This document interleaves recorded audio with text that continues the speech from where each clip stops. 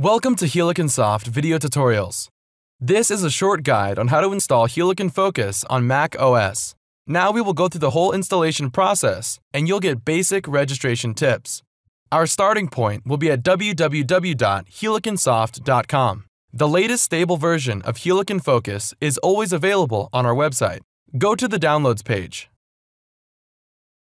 and find the Helicon Focus for Mac OS icon. Once you've hit the button, the download process will begin. It will take a short while.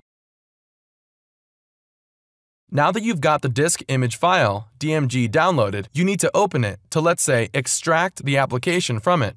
Click on the heliconfocus.dmg file, and a Finder window will appear. It contains two downloaded application files and an Applications folder icon. Now drag the Helicon Focus application icon and drop it to the Applications folder. The same goes for Helicon 3D Viewer. Drag and drop it. Now you can run Helicon Focus normally. I use Launchpad. The first time you run the application, you will get a warning. Agree to open the file and this message will not appear again. Now, you can start working. After downloading from the website, you will have a 30-day evaluation period.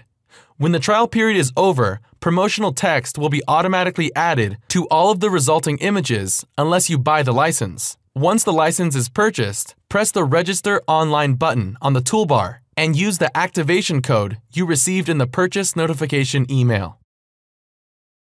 On the registration help page of our website, you will find the detailed instructions as for how to register on or offline.